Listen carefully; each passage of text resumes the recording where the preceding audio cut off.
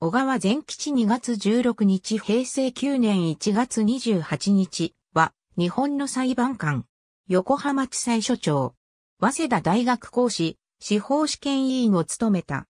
横浜銀行取締役会長、小川忠東京ガス専務、小川昭義の実父。三重県稲部郡梅と井村出身。純吉の次男。昭和7年11月高等試験司法科合格。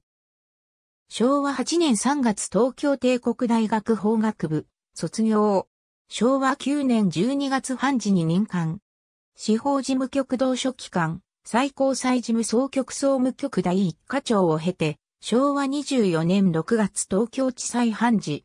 趣味は、囲碁、読書。宗教は新宗。三重県稲部郡大安町在籍。住所は、東京都新宿区と山町。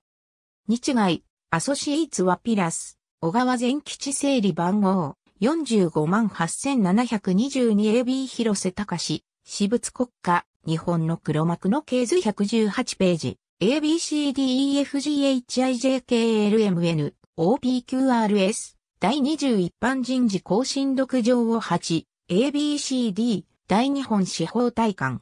ありがとうございます。